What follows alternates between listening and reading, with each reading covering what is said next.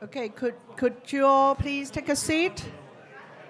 Hello, good morning, ladies and gentlemen. Please take a seat. It's 11.32 already, and we must start this session. So, all right. Um, uh, Elaine, perhaps you can close the doors. So, good morning, everyone. Uh, my name is Ada Wong. I'm the moderator for this session. Uh, I think my job will be very easy because we have two great speakers here and they can talk on their own and they don't really need any facilitation. Um, this session is about innovating education. We're very pleased to have with us um, Dr. Elliot Washor from the United States. He's the founder, co founder of uh, Big Picture Learning. Now, when I uh, read about Big Picture Learning, I think it is very relevant to the situation in Hong Kong. In Hong Kong, we have been talking about how we can connect schools more closely to the community, how we can enable students to have more choices uh, so that their learning could be more relevant, could be more authentic, and could be more real life. Um, in the United States, 30, 40 years ago, Elliot has already started thinking about this thinking about how we don't confine learning in just classrooms, and it is definitely not just taught by teachers, although I do appreciate and respect teachers' professionalism, but learning can take place in the community everywhere, in every corner. And so here is the biography of, uh, a very quick biography of Elliot. Um, I have to ask him later what does it mean to be the most daring educator? Uh, you know, how, how could we, um, you know, how could we become one? A most daring educator in the world selected by George Lucas Educational Foundation. That's very interesting. And one of the hundreds most inspiring global educators, educators of 2019.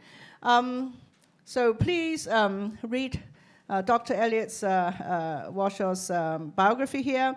And of course, we have Hong Kong's Professor Cheng Kai-ming, uh, with us as uh, our second speaker. Um, we all know Professor Cheng Kai-ming. He's my teacher. Uh, he's my thesis supervisor, and I, and I am who I am today because of the Master of Education program at the University of Hong Kong. Um, Professor Cheng will talk to us about science of education, um, which he thinks is actually very, very important for the future of education.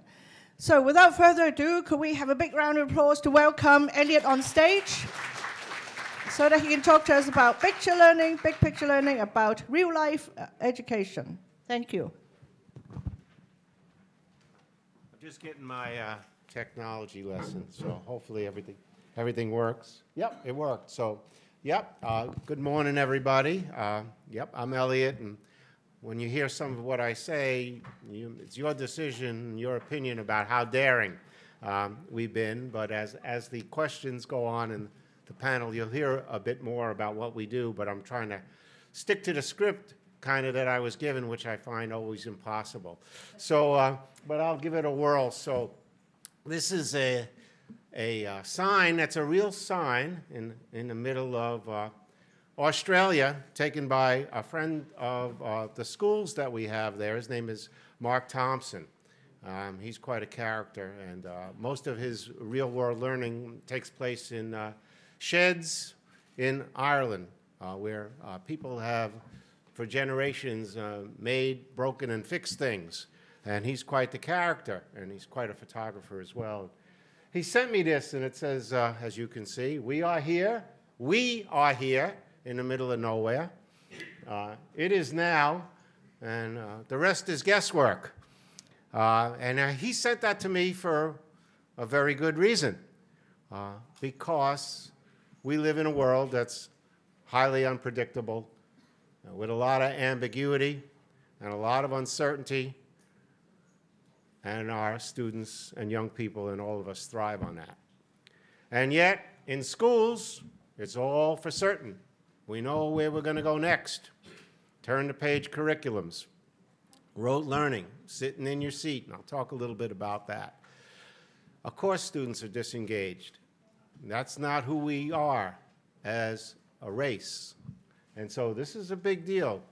Um, the work also that we've done is work through practice. So there's a famous baseball player in the United States, former, Yogi Berra. And uh, he has a, a beautiful statement because he's known for mixing up his words. And in education, I'm kind of known for mixing up my words as well. And he said, uh, in theory, theory and practice are the same, but in practice, they're different. So if you think about that a little bit, uh, you'll get the point. You have to be a practitioner. You have to be on the ground. The work emerges. And there's a famous guy, Charles Lindblom. He's 100 years old. He's at Yale at 96 years old. And he was the guy who wrote about muddling. That was his economic theory.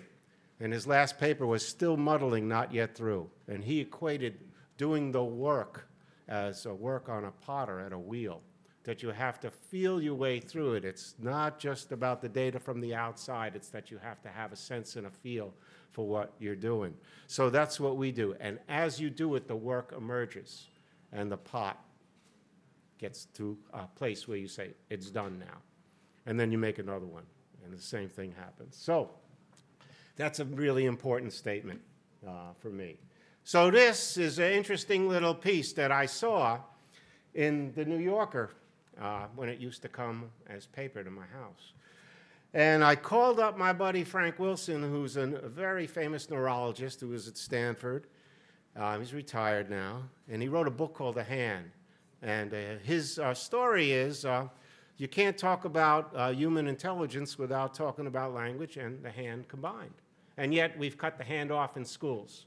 The hand informs the mind just as much as the mind informs the hand.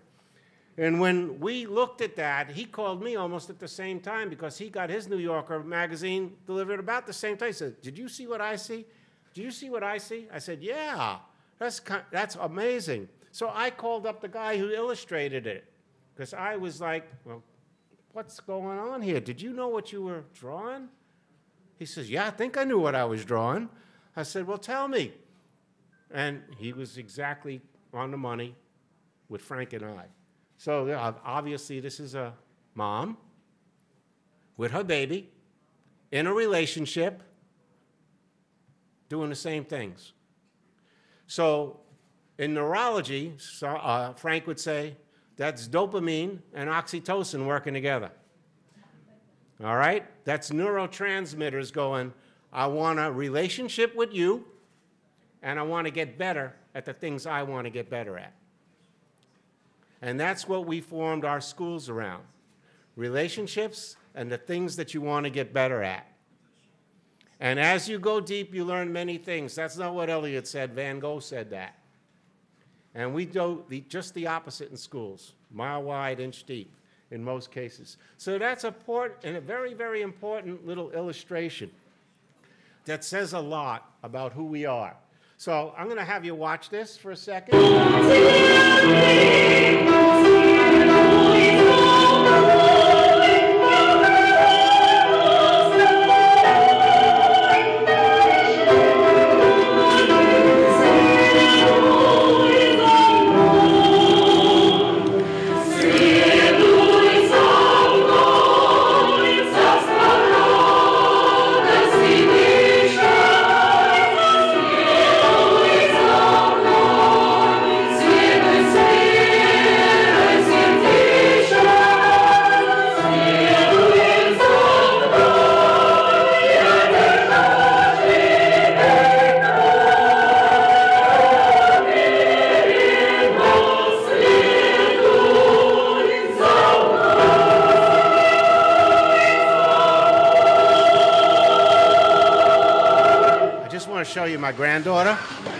Not my granddaughter. It's not my granddaughter. Just kidding. I'm just kidding. It's not my grand. But that's really, really powerful. What do we, every young person is like that. And parents who get connected through that bonding and through what they want to get better at. That's powerful. That's occurring in a church. That young child, like all young children, is going to go to school. What do we do with that? Put them in a seat and tell them to sit still? That's crazy. What do we do with it? So that's a long conversation we could all have about just that one 30 second clip right there. Now, My buddy just sent me this two days ago, three days ago, right before I left from California. He's a, a craftsman and, a, and a, a carpenter and, and an incredible artist who does work in our house. This is his grandson, and this is his other uh, grandfather. This happens all the time. There's that dopamine and oxytocin working together, or being with somebody, not doing something to somebody. With is a powerful word in big picture. Being with students. They're at the center and they take the lead and they go to their edges. And as Jane Jacobs said, you have to take, go to the edge with somebody and declare it your center. And that's how things change. That's the innovative piece. Real, real simple. That kind of intensity is around not just I want to learn how to do that, but I want a relationship with you. And when we get that with our children, in and outside of schools, that's where the learning is very, very powerful. So this is another illustration. Somebody who's a friend of mine in New Orleans, we just won an XQ prize in New Orleans, and they gave us $10 million, God knows why um, to build a, a, brand new school that's a big picture school. No, it's a, a really good school, uh, and it's called New Harmony High, and it's about uh, what are the new harmonies? What's the new work? What's the new art? What's the new music? What's the new food? What's the new way to live dealing with climate change in a city that's basically underwater and below sea level? So this is her grandson. She says, Ellie, take a look at this. This is my grandson's art. I said, wow, He's five years old. Look at the intensity of that drawing. Circles within circles within circles within circles. There's a lot of patterning there. That's math. That's mathematics. But I know Bobby. Bobby, grandma is an architect. Daddy is an architect. When the young child shows that to his dad and his grandma, those are those neurotransmitters in operation. We don't have to call them neurotransmitters. We don't need the science to tell us that, but we like to be informed about it because it helps us think about learning. Like Project Zero said at Harvard. You know what Project Zero is? Know why they call it Project Zero? Because we know zero about learning. We think we know a lot. We don't. There's so much more to know. So much more to know. So here's something that is about the outside. Now, there's Audubon's, there's Da Vinci's, there's Darwin's, there's Alicia Keys, there's Bob Dylan, there's Ramanujan. All of those are their notebooks. And there's two of our students' notebooks there as well, because they didn't know that they were going to become famous, none of those people. Not one. And yet, all those notebooks are glass encased in museums where you can't touch them. When you go into industry, and these are for the uh, entrepreneur innovation folks in the audience, may not be educators, PowerPoints don't go into a law when there's a litigation around intellectual property. Research papers don't go in. You can check it out because I've worked with the industries around us. What goes in? Somebody's notebook. How much credit do we give students' notebooks in school about what they're writing about? What's the power in that? We're starting to do that because we're starting to talk to industry about what is important. It ain't a PowerPoint or a research paper that are the most important. How much time do we spend on that? They're always in their notebooks writing down stuff that matters to them. Mattering is a big word. Muddling is a big word. I'm going to give you the three M's. Mattering is a big word, and mingling is a big word. Mingling with mattering to, and muddling through. Those are all important pieces around how to develop cross-sectional relationships in and outside of school. Famous Bruegel painting, The Plowman or The Fall of Icarus. What's interesting here, and this is a long time ago, they, everybody knows this, every culture, it's cross-cultural. Doesn't matter where you are, what timing it is in history. There's Icarus falling into the drink. He wanted to fly, he got too close to the sun. Every adult in that picture has their heads turned away from Icarus, is not paying attention to what he's doing. That was the message of the plowman in the fall of Icarus that Bruegel painted.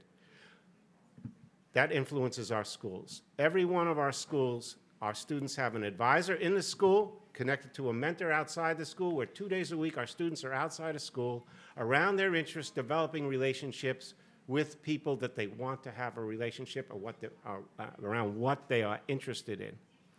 Here was the warning right there. Did we pay attention is the question. So I was involved in a study by the federal government in the, in the U.S. Department of Education. They called me and another guy up and they said, we want to study disengagement. And this is that, what we were talking about earlier, decision-based evidence making. We think evidence decision, uh, uh, evidence-based, evidence-based decisions are the gold standard. Little do we know that we make decisions around the evidence, and it's uh, very, very subjective. So they said, Elliot, life events, behavior, academic failure, and disinterest. That's why kids leave school and get disinterested in it, I said, wait a second, there's a heck of a lot more research than that. And at any given time of any given student in their life cycle of when they're in a school, any one or any combination of those things can disengage them. Any day of the week, any month, eh, or for years, if nobody is paying attention to who's in front of them. Mattering, what matters to the student is the school paying attention, to the community. Fitting, the student has elected to go to the school. The parents send them to the school. They're trying to fit the school. Does the school fit them? Their interests, their talents, how they feel every day, what's going on in their lives. Unrecognized talents and interests. Benjamin Bloom did a study. What did he find out? He studied people who were famous at what they did mathematicians, swimmers, ballet dancers, engineers. Here's what he found a child had a little talent outside of a school. They belonged to an organization. The organization said, Your kid is great to the parents, doing pretty well. Child, do you like it? Yep, I like what I'm doing here. I like sailing boats. Parents say, You want to sail boats? Child says yes. Organization, everybody continues along the way. Next step organization says, Knock, knock. This child is really, really good and too good for this organization. They need a technique mentor. Do you want one? Yeah. Parents, do you want your child to pursue that? Yeah. The rest is history. That's how we get, that's how talent is developed. Lauren Sosniak did a follow-up study. Both of them passed away, unfortunately. And what did she find out? She found out that there's a near zero correlation to developing talent of young people that schools pay attention to. They're all about the content that's in front of them, granting diplomas around the content, seat time, and giving out grades. So unrecognized talents. Restrictions. a professor, his name escapes me right now, did a study on how restrictive school environments are to children. What he found out was they're more restrictive than being a Marine Corps recruit or being a convicted felon in a prison. You can't even get out of your seat to go to the bathroom. You can't talk. You can't move. You can't use your hands. You can't weave or braid or do, you know, you just got to pretend like you're right on the money, and some of you may like being here, and some of you may not. I can't tell. But you're here, and it's a lecture. And normally, that's not the best way to do things, but if you want to learn from a lecture and you made a decision personally to be here and used your agency to do it, that's pretty cool. Most of the time, that's not happening in schools, though. So, uh, restrictions, when we talk about the government and cross sectional relationships that we need, schools need to loosen their restrictions, allow students to learn outside of school and manage that learning. They need to have more time for exercise. They need to have time to eat well. When people talk about gold standard evidence base on performance, sugar, fat, salt in heavy quantities in school affect performance. They affect performance of all of us. They also lead to diabetes, as was talked about in the opening session, heart disease, cancer. Think, think about happiness. You're not happy if you're sick. Even if you have a college degree and multiple degrees, you got to take care of your health. What role is school taking care of, taking a part in that? Let alone the arts, which Ada talks about a lot. We had just a little brief conversation about it. Mathematician, you can't find a mathematician, a great mathematician or scientist who's not a wonderful artist. And they had to make a decision whether they were going to be an artist or a musician, a mathematician, a scientist, or an engineer. This is crazy what we do. The rhythms of that young girl are math, those patterns. The drumming of, of a tabla, patterns, mathematics. That's how Manjul, who won the Fields Medal at Princeton, his mom took him out of school, sent him back to Punjab, where he learned tabla from his uncle, Sanskrit poetry from his grandfather. The rhythms of the arts produce the math. We don't get it in our schools. So, those are really important things. I'll say a few more things. I don't know how much time I got up there. You give me two, three minutes and I can stop whenever. So this is a famous vaudeville skit. Abbott and Costello, you may or may not know it, but it's very famous in the United States. And it's called Who's on First? And it's a play with words, kind of like what I do all the time. So a woman, Julia Freeland Fisher, a researcher, just wrote a book called Who You Know. And we're in the book, and I've had multiple conversations with her. I said, Julia, it's a great book. It's beyond just who you know. Schools only decran- uh, grant diplomas and certifications on a what. What and who need to be merged and married. What and who happen out in the real world. That's how we got an edge with our schools, because we knew that who knows you know what you know, and who you learn from on the outside, one on one, in serious situations to develop skill sets and mindsets about the things that you're interested, gives you very, very deep and clear understandings of things that start to get you on the road to not just taking in information and spitting it back, but actually getting to understandings and wisdom. That happens on the outside. It doesn't happen just from a book. We have a friend named Reed Hastings who's a mathematician and a philosopher, uh, one of the top, top chefs in Chicago. And he says, I can read five books on any subject and know what 95% of the world knows about it. But to know what that other 5% that the world knows about that subject is going to take me the rest of my life. And we don't think about that in schools at all. So who knows you know what you know matters. That's why we get our students out two days a week. And we have pretty incredible results around all the traditional measures and all the measures that we use around our students' lives. Students at the center, people talk about that a lot. But if you have a batch processing system that's all about standards and standardization, students can't declare their center at their edge. You have to be with them and follow them out. So students at the center could be made meaningless if the restrictions of school prohibit them from being who they are and who they want to show you. That's my book out there. I have a few copies for people who just want to pick them up at the end. Um, just give them to you. It's about leaving to learn. We leave to learn and then come back. We created a school and a set of schools, and uh, not more than that, some notions about programming that any school can use. Because that's where the learning is. Schools get all the credit and all the blame, but it doesn't happen out there. Parents, mentors, organizations, churches, that's where students are learning. And we have to credit it where it happens, because learning happens 24 7. That's our, um, the guy who did the I Love New York logo. Oh, it went back. My wife is telling me she's coaching me out there. I could pay attention. Thank you.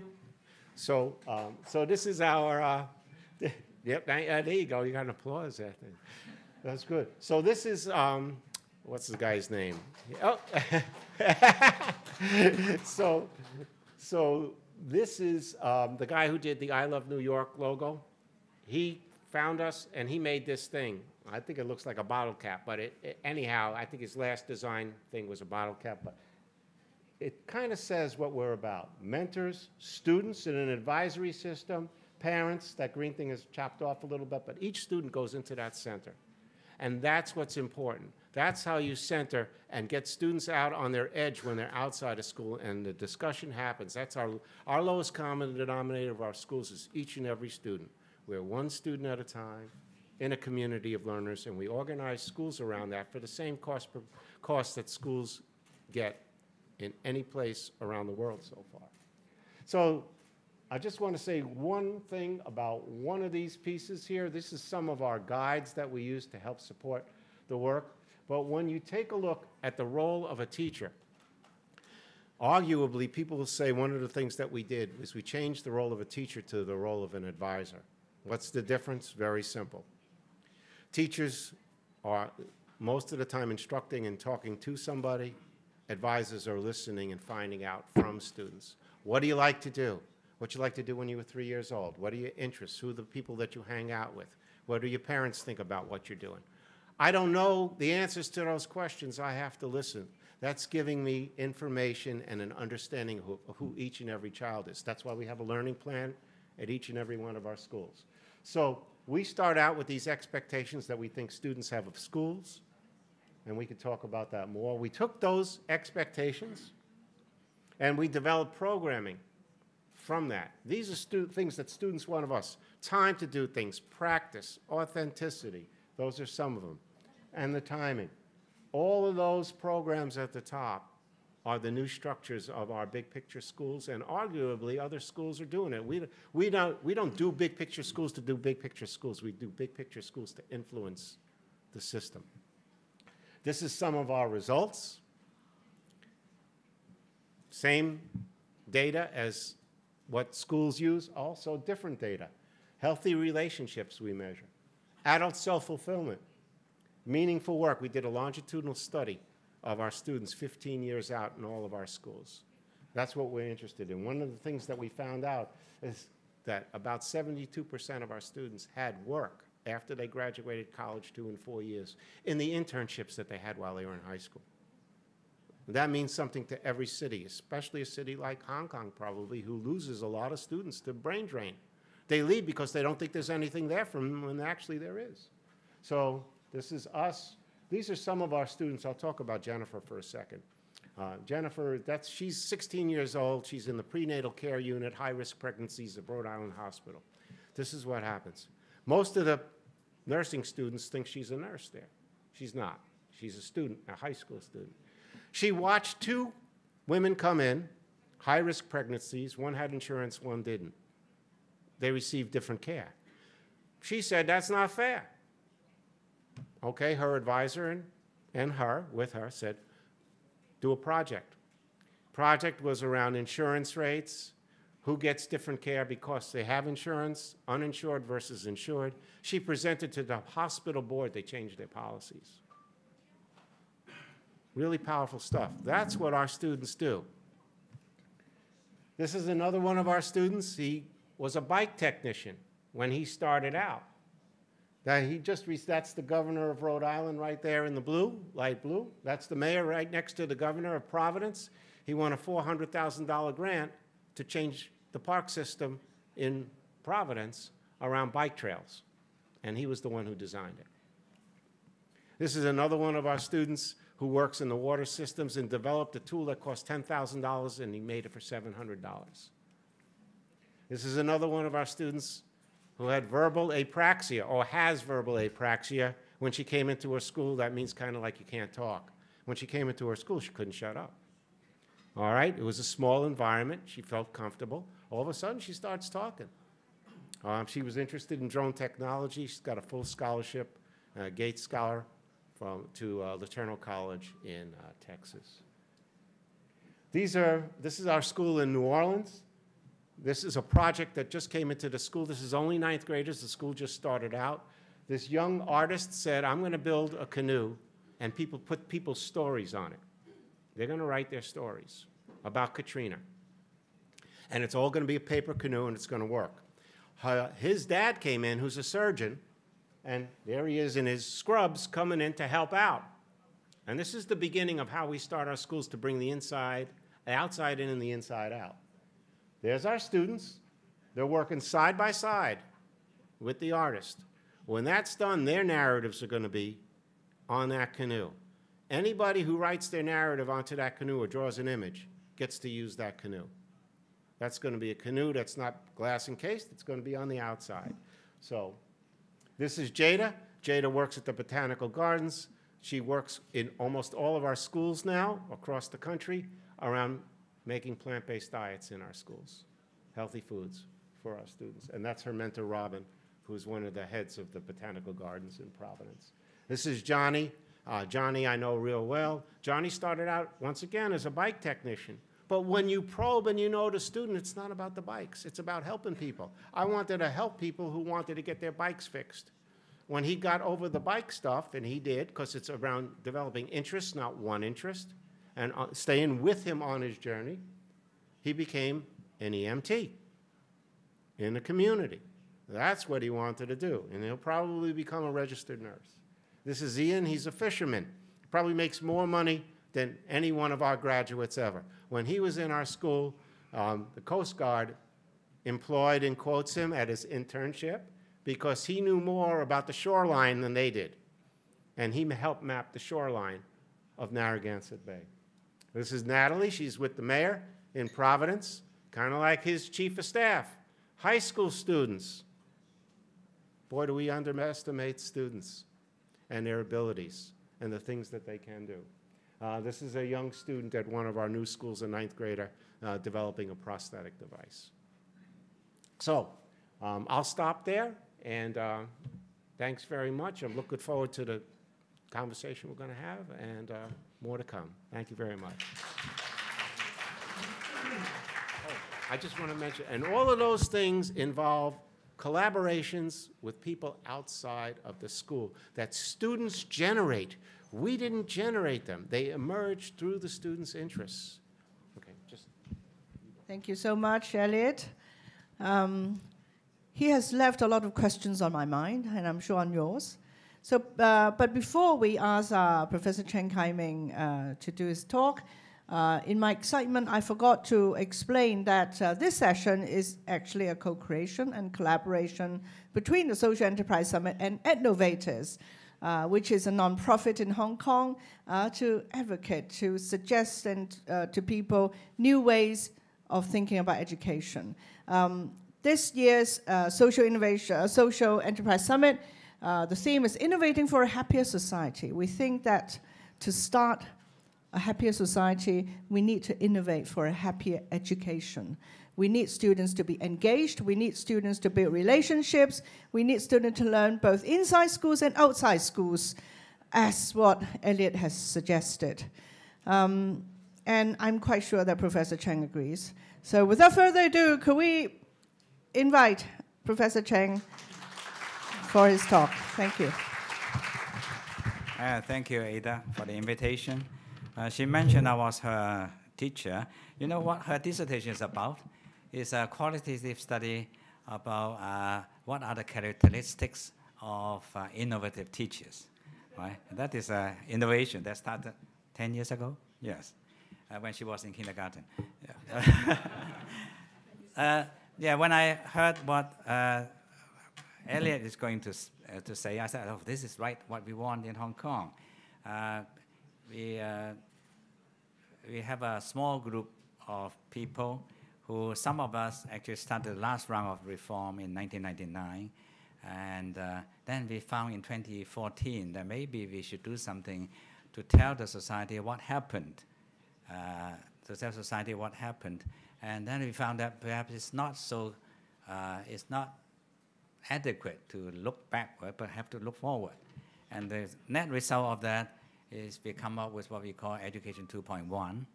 And uh, I'll, I'll not go on with that. But one of our proposals which came true is to set up a big education platform. Uh, and the organizers actually here. Uh, we use big right? We all think big. Elliot, that is a, a common ground. And, uh, but before, that was the notion of uh, three of our, one of our three uh, kind of mottos. One is education for all, that everybody is uh, equity. Uh, second is all-round education, and that is somehow related. That is, education is not only about, it's about experiences, which I'll explain later. But the third one is all for education. That is, education should not be constricted, uh, restricted to schools and the teachers. It's the whole society. And that uh, apparently echoes uh, what Elliot said very much. And that was based on our study before we launched that at all. In 2014, uh, we, uh, 2015, we did a study on uh, on a sample of 228 schools, which is about one fifth of the total population, and to, to see how many projects they have with uh, organizations outside education. And uh, the result was very encouraging. We found that of all the primary and secondary schools, for each school, there's an average of 9.8 projects, almost 10 projects that are partnership with somebody outside the school. And they're not doing curriculum matters. It's not inviting them to teach uh, English in schools or for, for our students to do uh, curriculum-related uh, matters. It's fundamentally doing things that are not in schools as an early experience, early engagement in experiences in society. And I, I suppose that was four years or five years ago. Uh, four years ago, it must be the number must have uh, uh, increased. The organizations involved in those days uh, at, at, that small sample is 2003. And I think this is much more now. So the first thing is we really have to, to see what has happened already. It's not due to government policy. There's no government funding, and there is no uh, particular uh, advocates at that time, but it happens. So it was really a trend that is appreciated by society, not only by educators, but by people outside education, outside schools, who think this is essential for our children. And they all feel very happy with little monetary reward, with no expected uh, kind of a, physical incentive.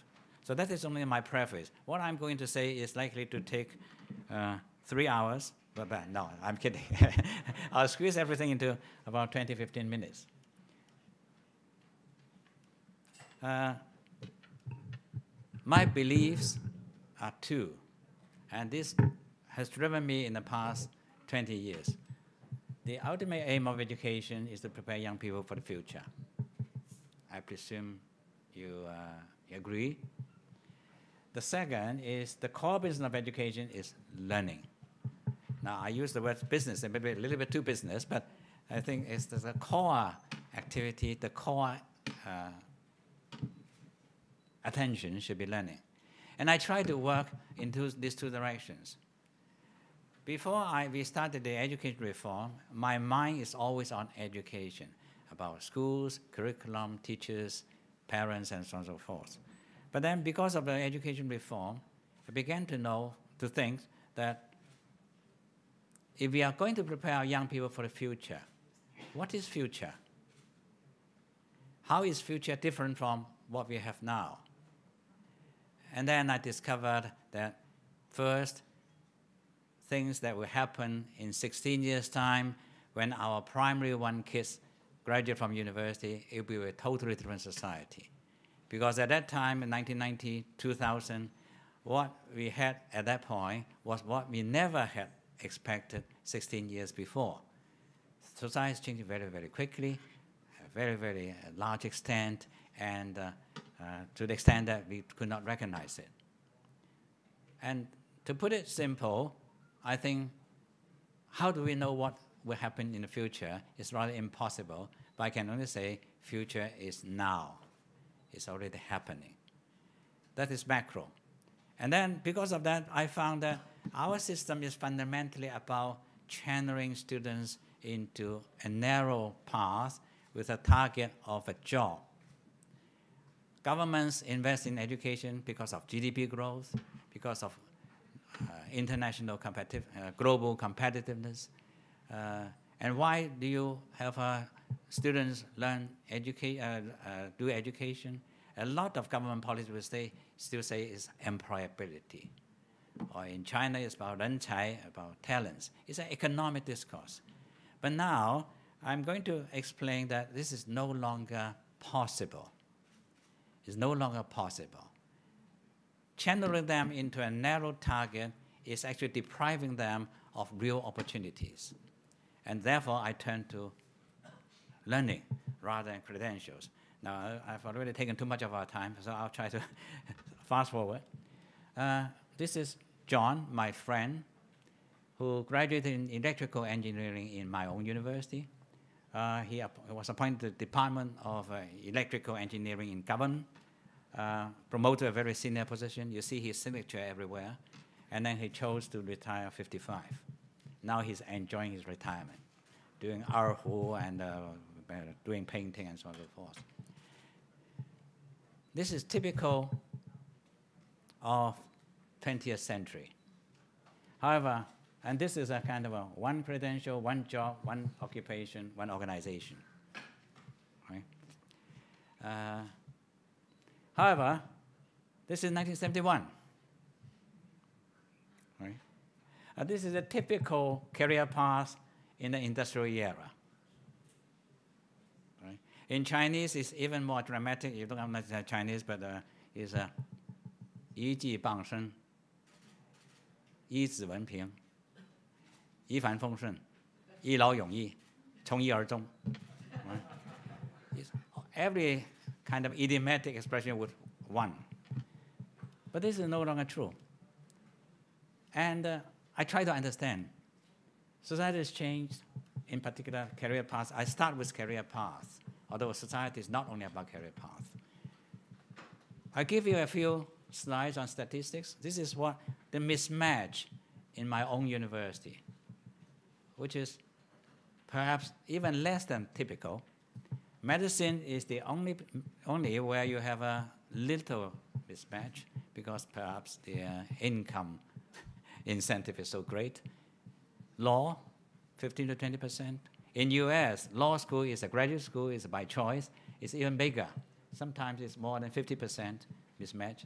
They don't take up law as their profession. Engineering, to my surprise, 35%. And otherwise, it's all the same. Biology, uh, uh, biology, psychology, history, they all do more or less the same thing. The second, this is Imperial College UK. I got this about eight years ago. Year one, the, the question is, do you want to be an engineer? Year one, 81% said yes. The dean was very furious the other 19%, why are you here? right? He said, I've spent all my effort to tell them how interesting, how exciting is engineering. But year four, huh, only 44%. So he was totally upset. Uh, the changes, now this is Australia, an institute in Melbourne, 2016, two years ago. They reckoned that for an individual, average individual, he or she will take up 15 jobs in his or her uh, lifetime. That reminds me, 10 years before that, 2006 in UK, there's a another statistics that estimated that average individual would take up 13 jobs. I couldn't believe it at the time. I turned to the Department of Labor, US, 10.6 jobs. Right? And before that, 2002, 4.3 occupations. These are hard statistics. Unfortunately, we don't have that in Hong Kong, uh, but it's quite common. Right? Once there was a crew doing an interview with me, and then I said something like this, oh, and I said, this is my sixth job. This is my fifth job. They're all under 30. Right? It's, it's a common phenomenon. So the mismatch is only about the first job. Even the first job is a match, you don't know where they go. So now it's about study mismatch, about frequent changes, uh, occupations, but many of them don't want to have a job. Don't want to have a job. Don't want to be appointed. They want to be on their own. Startups and uh, freelancers serving many, many clients at one time. Uh, multiple portfolios doing many, many different types of jobs at one time. Uh, intermittent work, gain salaries for two years, go to travel, Patagonia. Right? Another two years, Baltics. Right? This is what they do. And when I said this, the older people began to worry. Are you sure you want to quit such a good job? What are you thinking about your retirement? But all the young people say, I admire this. I want to be like that. Right? It's a different way of thinking. Unemployment, uh, intermittent unemployment, or intentional unemployment, that is, they don't want to work at all. I can tell you a small story. Once I was in a gathering in Paris, and uh, the, uh, the uh, uh, leading researcher in the World Bank said, when you said these people who lay in, uh, who stay in the, in the families and at home and don't want to work, I have one, my son is like this. And immediately another senior person, OECD said, embarrassingly, my son is also like this. Right? They all refer to sons though. So, but there are fewer jobs around. There's a small literature in the US. They, the, the growth of jobs is slower than the growth of population. So full, popu- full employment is beginning to be uh, uh, suspicious. And there are new occupations. You don't know what they are, right? And so on. Now, this is, I want to understand why. One explanation is because these young people are corrupt, right? They don't have work ethics, right? But the other explanation perhaps is that we don't know the reality. We, we educators are a little bit backward. We live in the 20th century. They are in the 21st century. Uh, so I try to explain. I, this I'm consolidating what will be an hour into two minutes. The production for needs no longer is production to create desire. Right? Uh, I won't ask the same question because many of you have heard. I ask, normally ask the audience how many pairs of shoes you have at home, and they all smile to themselves. Right? Do you need so many pairs of shoes? Are the shoes all the same? No. No. So uh, we have gone past the, the era where you produce for needs. You may say, no, it's not oversupply. You have still have hungry people in, uh, in Africa, but producers don't look at that mark as a market. The market is on where you have money, where governments print their notes, and so on and so forth. And mass production, therefore, is a bygone issue. This is where industry, industrial society started. Right? Everybody does a small bit of the action, you combine into a sophisticated project, uh, product, and then mass produce. And therefore, you need mass of workers with work lines, uh, production lines, and then you have supervisors and the supervisor of supervisors, and so on. It's a pyramid. But now, it is basically about less of more, less quantity, more variety. It's about individualized production, about customized service, it's about tailor-made uh, services, and so on and so forth. Right? And so the, the notion of a big company, uh, big organization for division of labor, for departments and layers, is no longer the trend. Uh, I can give you a very simple example. I just mentioned this to some of our participants here who are from Shanghai. Maxim. You know Maxim's in Hong Kong? It used to be a Cantonese restaurant, which is very famous because of its menu, decoration, uh, service styles. How many shops are there, restaurants are there in Maxim in Hong Kong? Over 600. Right? My mother lived in Taikoo Shing. There are four restaurants surrounding the uh, surrounding the uh, open area. Cantonese, Pekingese, Shanghainese, and uh, Sichuan. They are all Maxims, but they are not all. They're called not one of them. Not none of them are called Maxims. So you walk into a restaurant in in uh, Central, uh, sixty percent of the time you are in the Maxims, right? Less of more. Right? Across the road from the Hong Kong University, there's a PhD shop, selling PhD. No, it's Pizza Hut delivery. Right? You try to change the names to to uh, okay, and therefore large entrepreneurs have gone to small, flat, loose, and fragile one-stop shops, one-stop units. Even in large organizations like investment banks, they work in small units, task force, deal teams, program teams, project teams, one team for one client. It's not like in the old organization, each organization, each client has to go through all the departments, and each department will serve all the clients. Right? It's a totally different setup. Now, because of that, think of an organization. They're very small. They're fragile. You ask an employer, what kind of manpower do you want? the best he can tell you is what he wants now. What do you want two years from now? That was how we did manpower forecasting in the 1970s.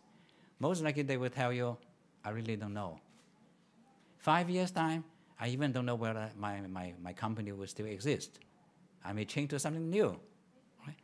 If this is the case, organizational commitment, employers to employees is very much weakened. Very much weakened.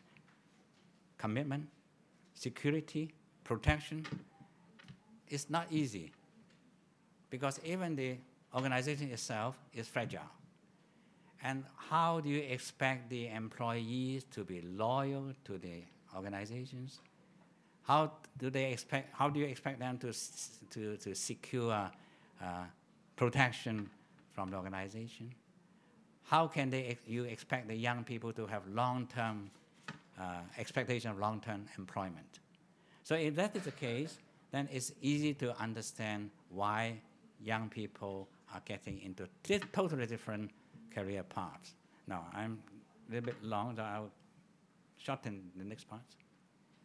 But it's a change that is fundamental, comprehensive, and irreversible. Right? It's a fundamental change not because of a trend, not because of a, a kind of a, a fashion. It's something that's fundamentally changed because we look for quality of life, we look for variety, and everything happens volatile, uncertain. This is quite common in the literature of VUCA society. Uh, so I, they have different views about jobs, careers, success, satisfaction, happiness. It is a case, but most countries are still thinking of manpower, about jobs.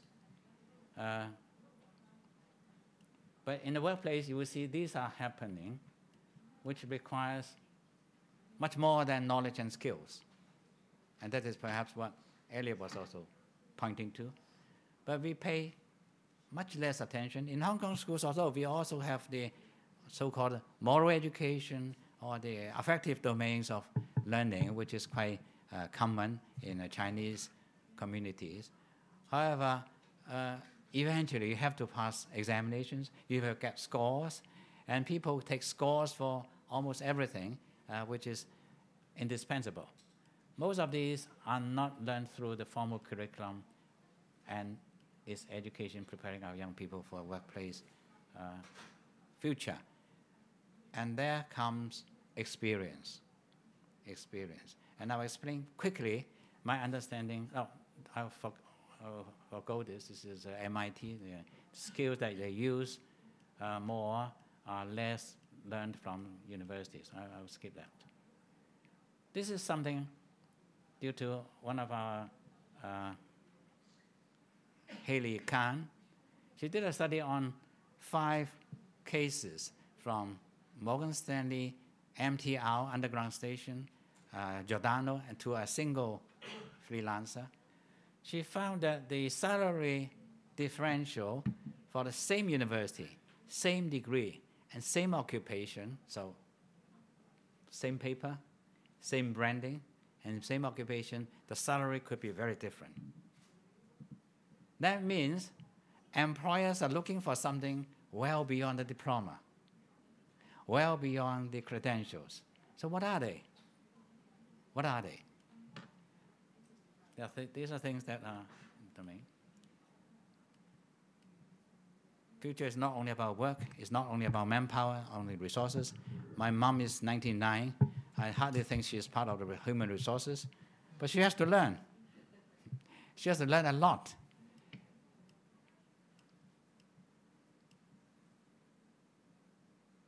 Learning is a human instinct, I think you agree. But education is not. Education is a system of learning designed by human beings for human beings. And therefore, education institution influenced by economic, political, social, cultural, spiritual underpinning of the time. That means the design could be obsolete. I think we are facing that. We are facing that.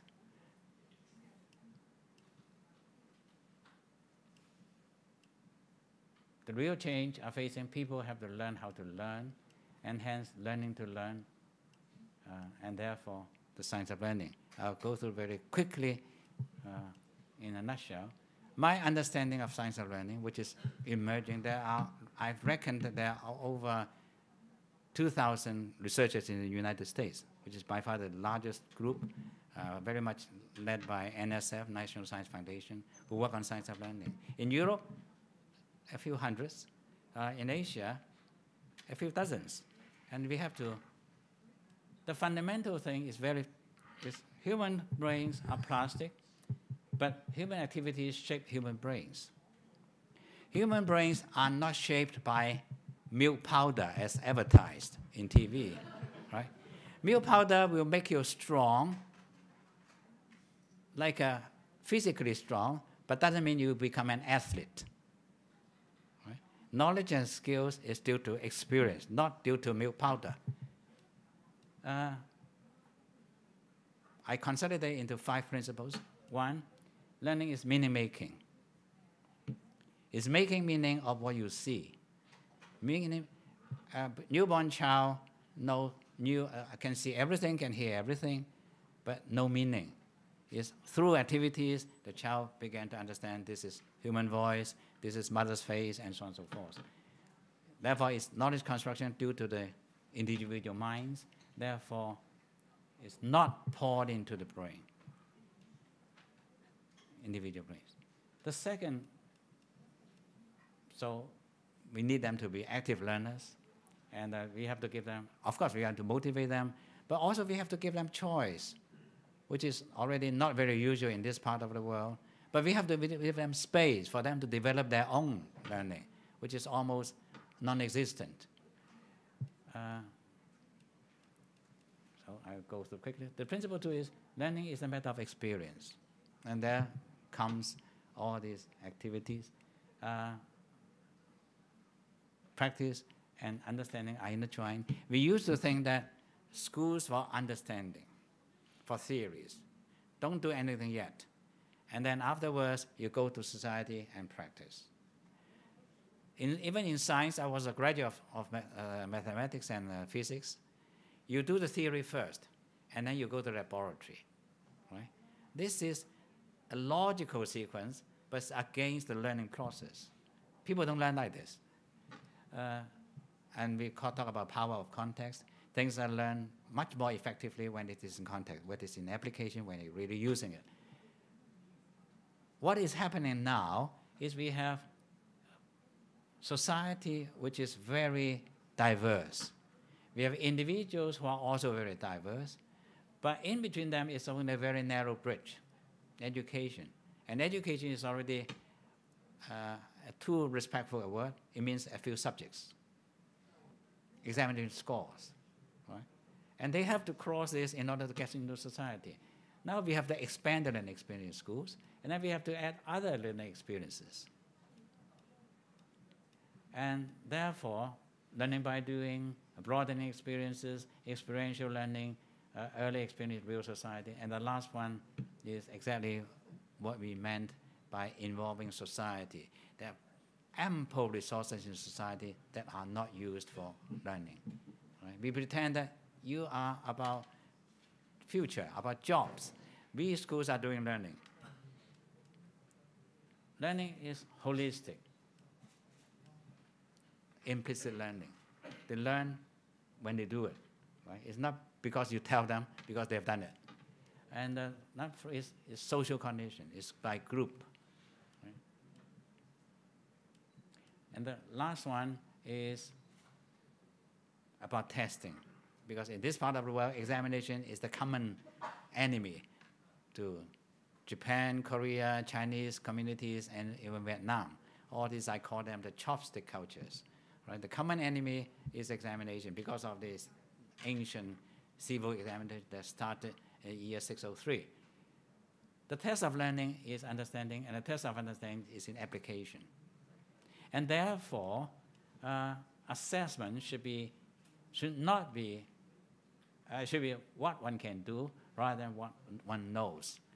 But over, over, over the globe, the largest percentage of testing is about what they know. But you go to the employer, they will say, I don't mind what you've learned. I really want to know what you can do. Right? This is the reality. And uh, therefore, assessment should, be, should contain elements of uh, creation, application, integration, collaboration. Right?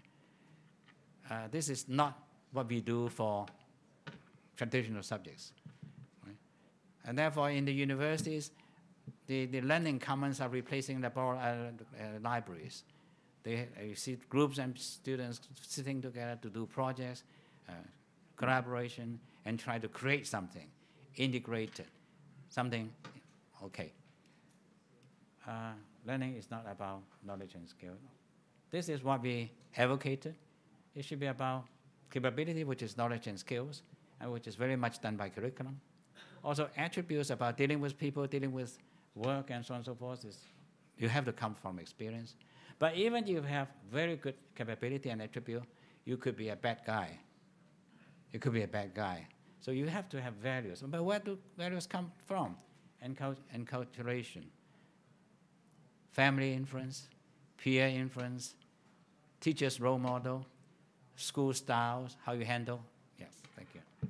And, uh, but unfortunately, this is very idealistic. Nowadays, very much value systems, knowledge are shaped by the media. And we know very little about how people learn from media. And we have, this is left for our, yes. Uh, therefore, big education, as I mentioned, and I will not repeat. This is our kind of motto. Uh, there's no limit to education innovation, no limit. Like in the market, they say customers don't know what they want. Right? Uh, but then, there's always a reason and an idea, for a reason, right? For a reason. Uh, this is the temple in Hong Kong, Tzu uh, Monastery. It's a very modern monastery with no worshipping, but basically it's a learning institution, Buddhist. Uh, in the introduction, there are two uh, phrases that inspired me. It said, 一念动一元生. When you have a new idea, you will, have, it will come to a new horizon. Ideas are important, and that is where innovation comes. Thank you very much.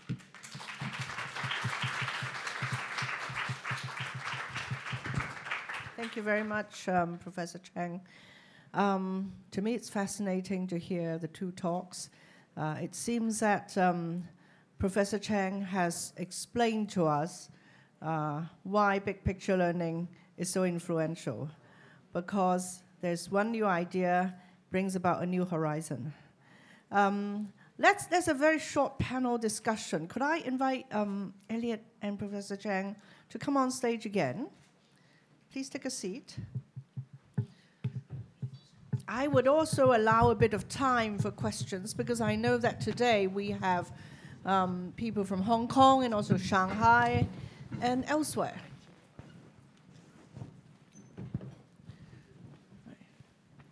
Um, perhaps let's, um, let's start with Elliot because you didn't really have time to talk about um, big picture learning and how it is done. For example, uh, you told me yesterday that um, uh, you know the um, the teenagers uh, would you know seek internships in their community, and they would give people a call and say, "Hi, I'm interested in this. Uh, could I come to shadow you for a day?" Um, and and that's how it starts. I, I, wonder whether you can talk a little bit more of that. Um, surely, uh, in the Hong Kong culture context, this seems a bit difficult. Uh, imagine you call up uh, a CEO of a listed company and say, I want to come and shadow you. Um, they might fail.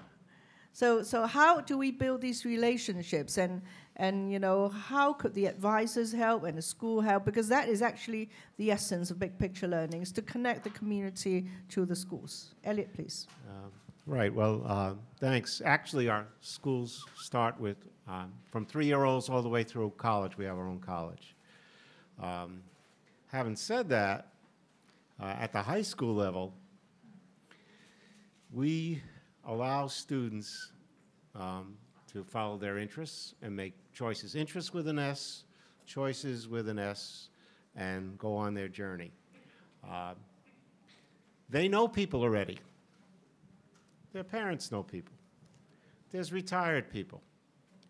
There's all sorts of people out there who have avocations as well as vocations around using the entire community, including industry, including small businesses, not just the large corporate, but the small, where there's intimate relationships around people knowing your know-how, your know-what, and knowing you.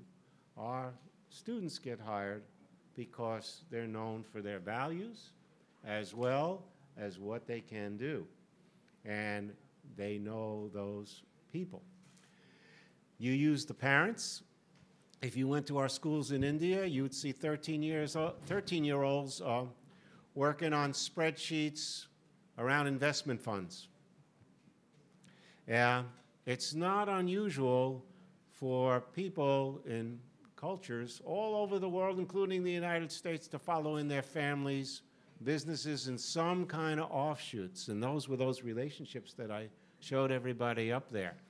You are always, whether you realize it or not, as a parent or as somebody who's playing in or doing work in an outside organization with a student, which we didn't talk about as well, students are doing stuff all the time outside of school. Um, their parents involve them because the students want to get involved, or the, sometimes the parents are playing a negative role and say, You're going to learn this no matter what.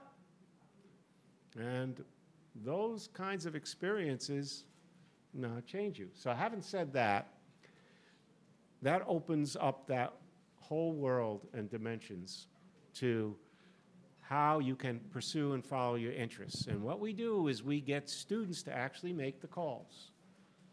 They're the ones who call up because an adult, and this is that, those neurotransmitters floating around, but it's also relationships and content. I want to learn from you. By the time you're three years old, you're already identifying objects that you want to learn about and people you want to teach you about. The, not grandma, grandpa. He's going to teach me how to tie my shoes. This is very, very old. And when people get a call, hi, I'm Elliot. Um, I want to learn about shoeing horses.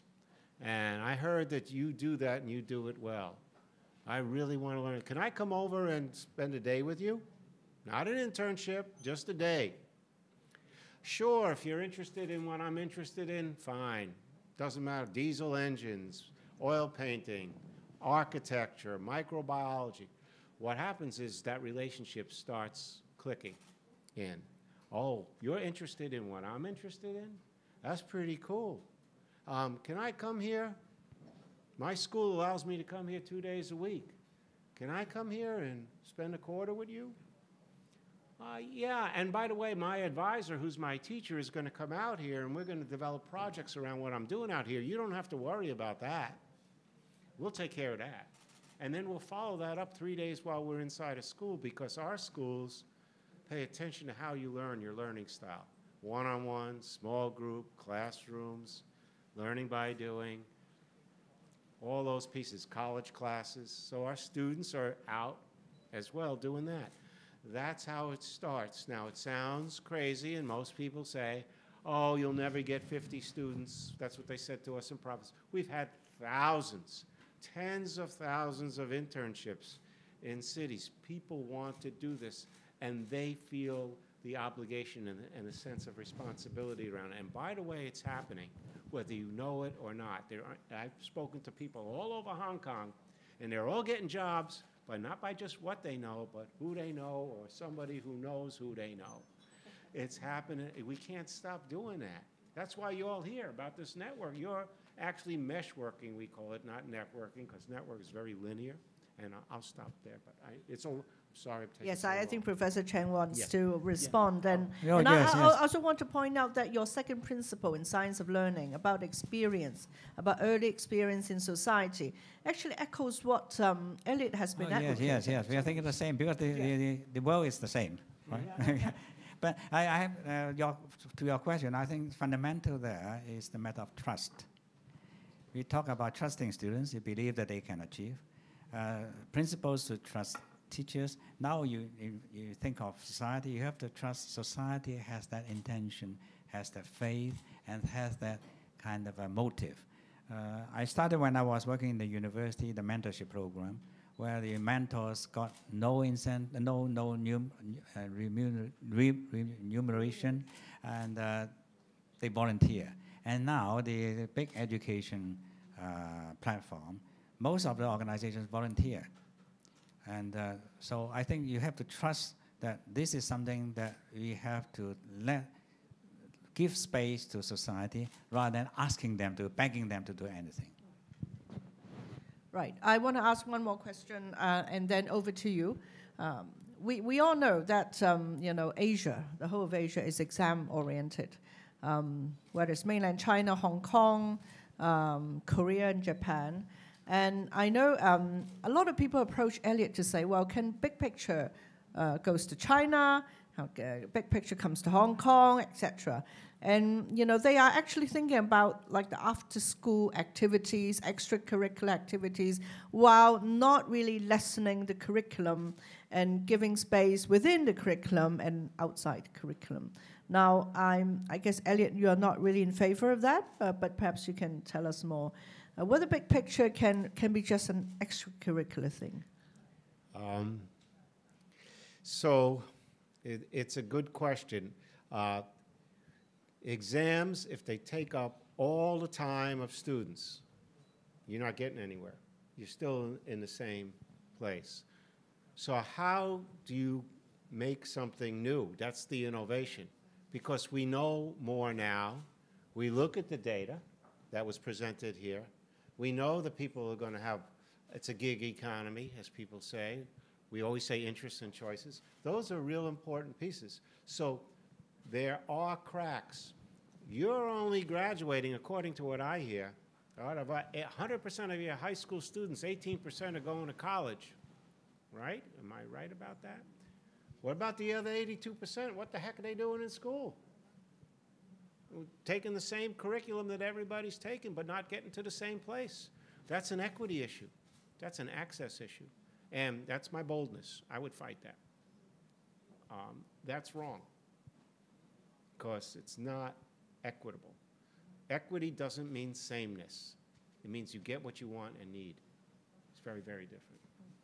Professor Cheng, any yes, thoughts? I, I, I think first of all, what is happening is uh, perhaps already gone beyond what you assumed, that uh, schools are only interested in uh, extracurricular activities in schools, which is not the, the, the case, as I mentioned. And increasingly, even in mainland China, the, the, the notion of a curriculum has changed. For example, uh, what they call uh, study, study tours, uh, which is which is quite widespread, is, is actually required in the curriculum for each child to have uh, opportunity to travel to other places. Uh, the issue is examination. Examination is predominating, and I don't, it will go out, I don't think it will go away in a few years' time because it's part of the society culture. If that is the case, I would argue that eh, we have to be innovative that examination is taken for granted, and you have to create space for things beyond examination. It's difficult to take it as a as an either or thing, or it's a zero sum game, right? You have you you have a tradition of examination, yeah, then do well in the examination, but that is only part of life. There are a lot of other things that we cannot deprive our students of. Yes, unfortunately, you know, we spend like 95% of our time uh, focusing on the word exams. Which is not true. Which, is, not true. No longer true. no longer true. Okay, so I think there are lots of principles here, but I think parents would like to spend more time with the kids uh, in revising um, textbooks and so on. Um, anyway, over to you all for questions. Um, we have a question to my right. Please introduce yourself and share your question. Good afternoon. My name is Jennifer. Thank you both so much for a really inspiring discussion. Um, I kind of have a multifaceted question, and it has to do with the point that you both made about how learning happens outside of the classroom, and there's a lot of untapped resources and non-traditional educators, maybe people like parents or you know religious institutions, people who might not see themselves as traditional educators, and therefore not understand the potential impact that they could have on the students.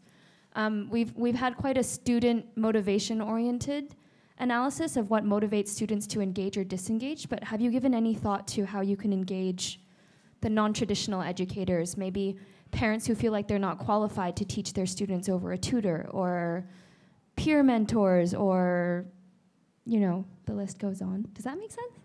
Yeah? Okay, thank you. Okay. Yep. Professor Cheng first. Uh, I'll try first. Again, the matter of uh, trust, and uh, because you have to believe that there are potentials in parents, and if you give them space, give them the activity and the, the opportunity to do that, you see many parents in Hong Kong schools are helping their children not only within the curriculum but also outside in their own company, their, their friends, and so on and so forth. I think we have to paint a realistic picture about what is happening, and that's the starting point of where we can move forward. If you assume that everything is so deadlocked, then we can do nothing. If you think that students are stupid, they are stupid. Right? This is the fundamental trust. Whether you think society has the potential and it has the incentive to do that, not monetary incentive, then we give them opportunity, like students. We think that they are all kind of uh, bookworms, they are all preparing for examination. Do, have we given them any opportunity to do anything else? Right? I think this is, this is about your 95% thing. Yeah? And uh, I think things are changing very quickly. You go to any school in Hong Kong, they will give you some good things. Nonetheless, examination pressure is still there. And I don't think in my lifetime, I'm, I'm older, maybe in your lifetime, you may not be uh, seeing uh, examination totally eliminated. It's a different culture. It's shaped not by education, Asian. It's shaped by society and long-term culture. So trust. Trust. Elliot. Oh, yeah, uh, I'll ask you, where'd you learn to read? S- n- No, no, but I, I, I- I- it's just rhetorical in a sense. Where did you learn? Did you learn to read in school? Did you learn to read on your grandmother's lap? These are, we're all teachers. It's about the relationship and the content together, about who we choose to learn from and how we can learn. What's going on in school is only a part of it. Schools get the blame, they get the credit, but it's not happening there most of the time. I can tell you that. But just like creativity, it's not happening sitting in a seat and just daydreaming out the window. You're active outside, doing other activities, and something happens. And many of the people that I know are trying to figure that out. None of us really figured it out. Where's that creative spark come from? When does it happen? All that kind of stuff. So I would encourage parents and outside organizations, they are the teachers. As a matter of fact, a teacher in front of 40 students lecturing. Are you kidding me? How many students are really learning that stuff at that moment? Please. So, no, and, and I mean that in all sincerity. Really think about where you're learning and how. Yes, I think uh, back to examination. It doesn't mean that examination cannot be changed and should be changed. Uh, the test of examination, I think, is very simple. If you allow everybody to go into the, the, the examination hall uh, with an iPad, with connection to Wi-Fi, then you really don't know what to test them, right? That, that, that can be done easily. Well, Say one more thing? Sure, Yeah. Elliot. No, say no, one I- more thing. You say two I think, things. and I'm going to put the onus on uh, the university level. If the university accepts students by the things that they can do and the recommendations that they get from people in the out, you watch. If you tell, if you say you got to dunk a basketball to get into the Harvard, you're going to see a lot of five, six kids dunk basketballs. All right, it's that kind of simple. So the university has a responsibility here. Around making change. Now, my, my advisor professor from the university says it's easier to move a cemetery than a college. That's what he told me. So they move slow. But when they move, and they have in the United States, 700 universities in the United States and colleges don't look at ACT, SAT scores anymore. Yes, yes, yes. So it's changing. Right. Um, Frankie over there has a question. Uh, Frankie Poon is uh, a headmaster, principal. Yeah, um, well, it's, it's very inspiring because uh, my question, well, actually, uh, I really agree that everyone is a teacher. And, you know, as a practitioner, sometimes we work in school and we don't feel like being a teacher in some of the activities that are happening in school. Uh, my question actually based on three concepts that today, uh, that, you know, you two speakers mentioned. One is the big picture. The second one is muddling through. And the third one is innovation. Now, um, we're not short of big picture. And then, well, my, my question is, how can or how does the big picture help us to muddle through? Because when we're muddling through, we don't seem to see the big picture. And the second question, I'm sorry, I, I'm sorry. And the second thing is that you know we have a lot of innovative practices happening around, and then uh, uh, but we somehow we don't, you know, when we are muddling through, we see all this innovation, we see all these big picture, but you know, in the afternoon when I go back to my school, I have to continue to muddle through all the chores.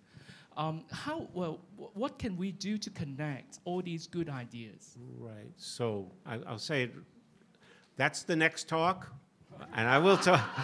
but it's a it's a long conversation. But the short version of it is you have to have vision and you have to have focus on your vision and not to lose that. And you keep muddling through. You never get to your vision. That's why it's a vision. But you keep focusing and you be active and in your practice and you learn and be active and reflect as you're doing and reflect after you're doing. It's a quick answer. Right. Professor Cheng. Yeah, I think we, we have to move away from a paradigm, which is a plantation model. Right? You do you do all by design that everything will come out as you expected. Right? You have to think of what is controllable, what is not controllable, what has to be controlled, what need not be controlled. If you think of, then the muddling through is much more comfortable. Right? And that is perhaps also what uh, Charles Lindblom's idea. Muddling through is the, is the daily uh, routine. Yeah. We have time for one more question as well, but three hands. Um, the gentleman to my right. Uh, Professor Cheng, uh, this year's uh, Hong Kong is talking about STEM education. Can you tell us uh, about uh, your opinion on, on this uh, regarding how to equip our uh, uh, youngsters to prepare for, for, for the future? Professor Cheng, before you answer, because I want to give opportunity to one more, Helen, because she's from the Good Lab, and she um, she does parent education. So over to Helen, uh, you have the last question. Thank you, Ada. Um, I just want to um, ask my question to the speakers because uh, we talk a lot about trust, trusting the parents, trusting the educators, trusting the kids to learn by themselves. Uh, but can you share a real case in your project uh, that how much balancing are you giving the trust to the kids that they can learn by themselves and how much we're meddling in their education because this is a constant struggle that um, I do with my company or my kids. Uh, we want to give them an opportunity to voice out and even act, but how much as an adult should we meddle with their business?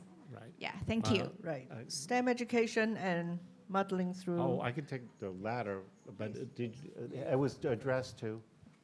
um, oh, please, so you, you, you take the Helen's Okay, question. Right. So family engagement is a big deal for us, for ti- uh, and we listen to parents once again. We're with students, not always doing something to students. So you have to have a culture of trust in the school. It doesn't work if it's not like that, and we, you have to build that culture. It comes from the students. Our students have very serious voices that are heard. In most schools, there's a, they don't have the kind of agency because they can't move. But if you're moving inside and out and learning inside and out, all of a sudden things change. If you're really listening to parents, if parents are really seeing what their children are learning and you're exposing that. If there's a real learning plan meeting for each and every student, and the parents involved, the mentors, the advisor, and the student is there, and I'm talking about five-year-olds being at the learning plan meeting and saying, I want to learn how to cook spaghetti. I mean, I don't care really what it is. It's that their voice is heard and they're making choices and they see their, they feel like they have power. So that's a quick answer to it. Right. STEM education. Uh, but I also want to respond to that. Please, yes, STEM please, education. I, I like the question, but I don't have an answer. because you, you have the question. Yes, I have the questions as well. STEM, everybody says STEM, therefore I have to do STEM. That is a very bad uh, kind of culture, right?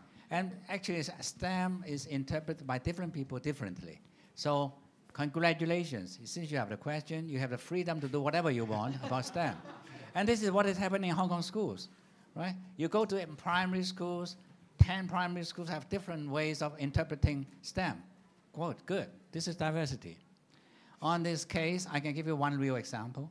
In a real school in Hong Kong, a, a, uh, general subsidized school with no additional resources, 10 students, students divided into 10 in uh, uh, groups of 10. They are given the task to discuss themselves among themselves and to perform next week three pigs, the story of three little pigs. Three little pigs, one pig mother, and one wolf. And the teacher does nothing to tell them what to do. So they started to, ex- to explain. They know the story. And the first thing is they began to understand that we are 10 here, only five rows. So it isn't quite uh, good. So they try to rewrite the play and added two dogs. right? And then they try to do a lot of uh, resource allocation to see who is going to do what. And after that, it's a long process. You know, children are not like uh, like uh, management board meetings. And then they try to ask the roles to, to try, right? Try to uh, sound like a wolf, like a pig. And then one of the dogs could not bark, uh, could not bark. So they said, you can't bark. Try hard. Still, he couldn't bark. Okay, you are removed. They change it to somebody else. this I heard from a parent of that school. And that school I happen to know very well. And I said, this is a wonderful process. Right? Is decision making, resource allocation, crisis management, everything you want in management school is happening there. If the child in a year has five or six such experiences, Right. marvelous. Right? And But what happened to the dog who couldn't bark? So he, mu- he must have felt really, really disappointed. no, no, that, that is a reality. So the students have to handle. So he had to pick himself up again. No, no, the, the students have to handle. If the child is crying because I can't play the part, no, nothing, you have to handle. So you have to leave them and they can do these things. Now, I have to give you an extreme example, not here in, in, in Japan.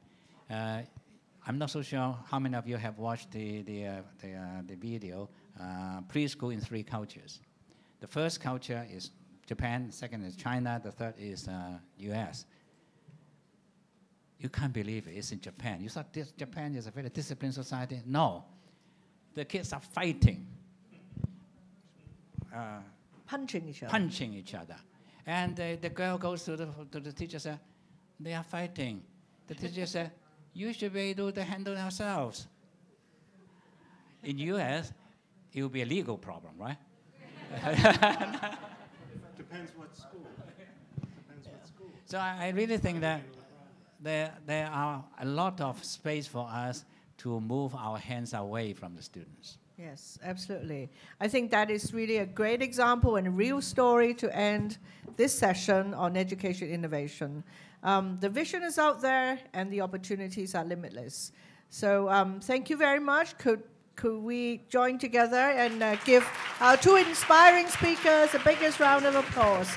Dr. Elliot Washor and Professor Cheng Kai Ming. Now, I know that you all want to network with the speakers, but they must leave in five minutes because we're working them really hard. They have to attend a luncheon talk now. All right, so if you want to get to know them more, please come up Yes, absolutely. and, and we'll have to leave soon. Thank you very much for participating in this session. Oh, and we have an Innovation Fest tomorrow and on Sunday at the HKICC School of Creativity. The pamphlets, I think you've got the pamphlets on the way in. If you have not, please ask uh, my colleagues on your way out. Yes. And uh, Dr. Washor will also be a keynote speaker at, at Novation Fest. So hope to see you there this weekend.